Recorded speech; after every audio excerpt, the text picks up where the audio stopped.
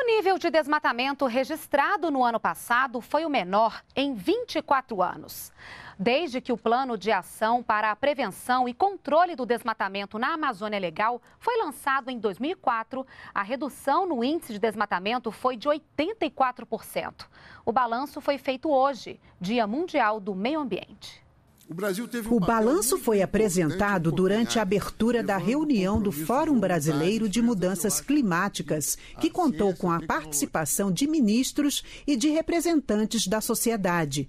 A ministra do Meio Ambiente, Isabela Teixeira, mostrou as estatísticas do desmatamento no Brasil em 2012, que teve redução de 84% em relação a 2004, ano do primeiro plano de ação para a prevenção e controle do desmatamento na Amazônia Legal. Ela também revelou que o índice foi o menor registrado em 24 anos. É a menor taxa de desmatamento da história, desde que nós monitoramos há 24 anos, 25 anos, o desmatamento na Amazônia é, deu 4.571 km quadrados. Nós reduzimos dois pontos percentuais daquilo que foi anunciado é, no final de 2012. Em discurso, a presidente Dilma Rousseff comentou que os números mostram que o Brasil conseguiu institucionalizar o processo de controle do desmatamento. Nós estamos conseguindo consolidar esse controle através de mecanismos que o INPE fornece, que a Embrapa fornece, a experiência demonstra que esse plano tem de combinar as duas ações: uma ação de repressão ao desmatamento, de combate e controle do desmatamento, e outra ação afirmativa na região, assegurando espaços de construção de economias que convivam com o meio ambiente naquela região.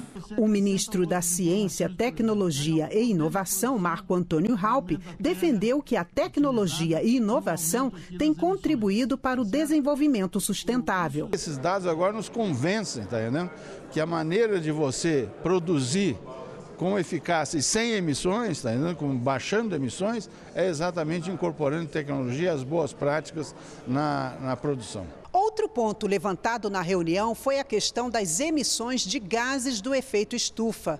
De acordo com dados apresentados, o país atingiu cerca de 62% da meta total de redução das emissões de gases. Nós estamos chegando no cumprimento da nossa meta da Política Nacional de Mudança Climática, mas tem o desafio com os planos setoriais e com a adição científica de discutirmos energia e uma agricultura. Uma agricultura que vai de baixo carbono e uma energia que tem que ampliar a participação de renováveis, de eletricidade, de todas as energias renováveis para assegurar que o Brasil se coloque, se mantenha como um país com matriz energética mais limpa. A expectativa agora é quanto aos planos setoriais que estão sendo elaborados. Áreas como a indústria, transportes e mobilidade urbana, mineração e saúde têm a missão de apresentar projetos que estimulam o crescimento com emissão de baixo carbono.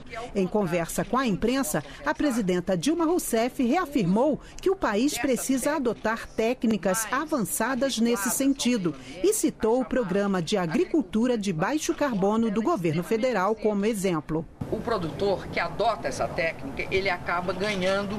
Por que, que ele ganha? Porque ele consegue produzir mais com melhor qualidade e com menor custo, considerando que há um financiamento governamental adequado para isso.